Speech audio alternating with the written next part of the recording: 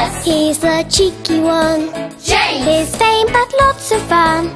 Percy. Pulls a mail on time. Gordon. Thunders down the line. Emily. Really knows her stuff.